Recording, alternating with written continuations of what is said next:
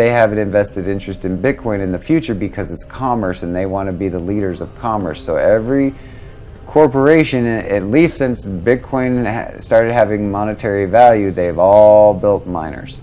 They have. Yeah, and some of them are even working on their own coins when regulation goes into effect. Hmm. Like Walmart's working on its own coin. Really? Oh yeah. Yeah, and Walmart's going to be traded on the open market where you go to Walmart, you pay for a thing in Walmart coin, and then if you want Walmart coin, you're going to take your Bitcoin and buy Walmart coin so you can shop in a Walmart. Wow. Because That Walmart doesn't so good. Yeah, man, that's the only way corporate's going to go is where each corporation was designating an individual, just like the robot was designating an individual. Now the corporation can be making its own money like a job, and for that you need an AI that represents the corporation as an individual, and you need a financial generation machine, which is your blockchain currency. You need an open market where the AI can trade that currency, which is, you know, what you got. So now the human beings are, are just wh- wherever they're at in their intelligence model and how they adapt to the new economy that's going to start rolling out next week. Next week. Next week. Alpha for their Singularity Net got released this week, and then next week, based on the learning cycle, the machine should have the entire global network analyzed. Wait a second. Wait a second. So what's happening next week? The The Singularity. the AI singularity is happening next week. Next week. Quinn, why didn't you tell me that? The I've whole been title of this for episode. six months. Yeah, but I didn't get it.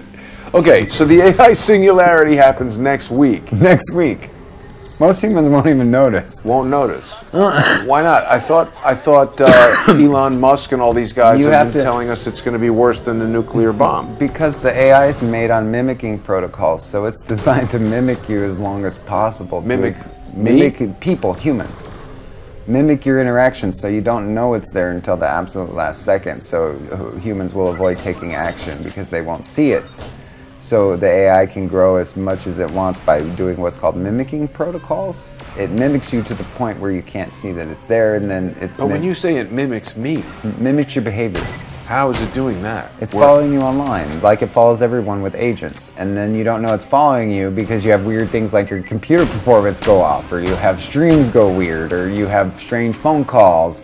And it follows you around to see what you do based on your personality so it can learn from you and learn your impulses and learn your response mechanisms. So AI is following every single person who's Everybody. on the internet. Facebook and Everybody. Twitter. Doesn't matter if you're a baby or the president. You're being stalked by a really, really, really strong, smart AI that just went blockchain. Hmm. And once it gets blockchain, the reason for that is like an AI that doesn't have blockchain can only communicate across a certain type of open channel. It can't be fully integrated. It's only communicative with other AIs. But on the blockchain, all the AIs can now merge into one cohesive swarm, hive-minded AI. Okay. And whichever one's the strongest wins. Yeah, I mean that seems to be standard protocol. So I get what you're saying about the concept of Bitcoin mm-hmm. being potentially created by an AI. Yeah, or in conjunction with a human and an AI through testing and reiteration and um, you know putting it out into the dark web and seeing how certain features and transactions because the only flaw they have now is real-time transactions. So once the, the, the block gets up to a point and someone figures out how to do like real-time non-blocking transactions because right now Bitcoin has transaction delays. Once they solve those transaction delays, it's like this for the AI. What do you mean a transaction delay? So when I go to sell a Bitcoin, there's a delay in time for that transaction to be processed because the transaction algorithms don't operate in real time. They're still lagging. Hmm. and but when you use a credit card or It's faster because of the encryption algorithms. So because of the encryption algorithms of blockchain, it takes longer to process the Aha. transaction. I see.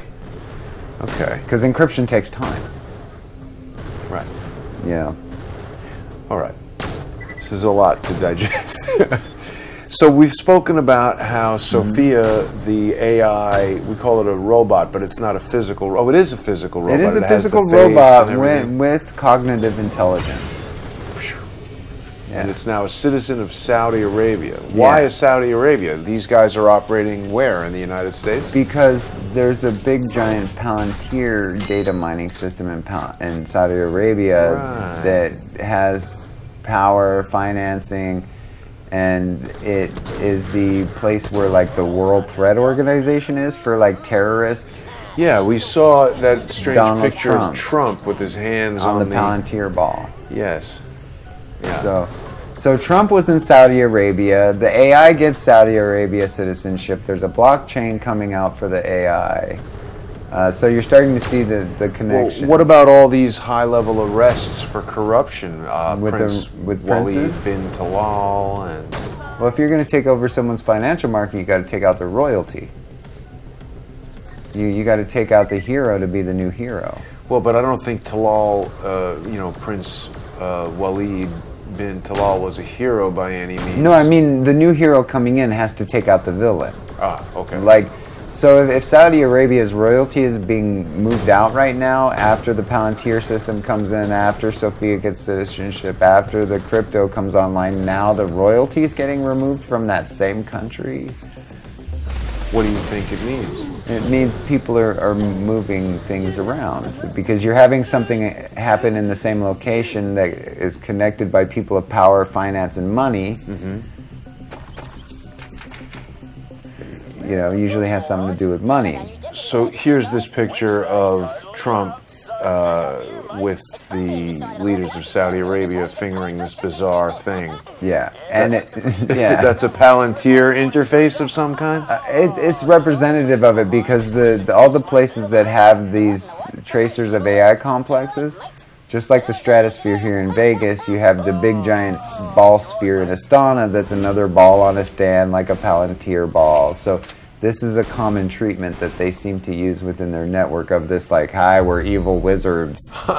So what? It's just symbology. It I believe so. I mean, I believe, I hope so. Um, either that, or it could be like the the quantum brain of some type. You know, the neural processor of some type. But I, to me, it just looks like a lighted treatment for It's ego. just like a fancy way of. it's having- like saying, "Hey, Palantir's here, and there's nothing you can do about it." You know. So Palantir is being used at this uh, Center to Combat Extremism, or whatever Yeah. this is called, Center for Extremist something. Ideology. Yeah. Yeah, and if you if you see the screen, it, it really looks exactly like a Palantir logo. They may not say they're doing it, but based on my research, Palantir is the only company in the world with a data analysis, uh, big data human tracking system that would need a complex like that. So, and that brings us back to cryptocurrency again. The Palantir ball, the Saudi Arabia, the Sophia, the you know all this stuff that connects all through AI and blockchain, and you're like, and Palantir, you're like, so we need a definitive connection. Well, what happens when Peter Thiel is the guy that gave $100,000 to the kid who wrote Ethereum that runs the AI blockchain? The AI blockchain runs on top of Ethereum. The Okay. AI blockchain runs on top of Ethereum. runs on top of Ethereum. Okay, Okay, so Ethereum, for people who don't know, is another is a cryptocurrency coin. Yeah, it's a it's the second biggest next to Bitcoin. created by this guy Vitaly Buterin. And Vitaly Buterin, to make Ethereum, he got hundred thousand dollars from Peter Thiel, hmm. from the Thiel Fellowship. See that? Yeah. So the Thiel Fellowship gave the kid $100,000 when he went off to write Ethereum. Now you're telling me the AI in Saudi Arabia that's using Ethereum for its cryptocurrency on a system that Trump is touching a ball that's a Palantir system. Hmm. It all seems very much like a, a big business plan. Now, the other thing that was coming up earlier today, obviously, we're here in Vegas. Uh, Prince Walid bin Talal was a majority owner of the Four Seasons Hotel, which many the- people don't realize is the top four or five floors of the Mandalay Bay. Yeah. And there's been speculation that the true intention on October 1st was to assassinate the Crown Prince of Saudi Arabia. And the question that's been coming up all over the internet was is there some connection between Saudi Arabia, uh, Prince Walid? There could be. I mean, I, I don't know for sure. I would have to do more research. But if it's if now we're talking Vegas, there was a, a Saudi Arabian prince in that same hotel on the same night that that happened, or as a major investor in the building that that came out of with the AI. Now we're talking that there's AI in Vegas. Well, and that's also something you and I were talking about Yes. last week. So Yes. you came to Vegas here to research the AI. research the AI and all. We haven't even gotten to the large hadron colliders and the circular structures. Yeah. So take me down that path. What's going on with AI in Vegas? What are you and I going to go research tomorrow? So the AI in Vegas one is we're going to do what's called power comparatives. Okay, so what that means is these big giant casinos they require a lot of power. Mm-hmm. Okay, modern power systems have the circuits, the converters, everything above ground.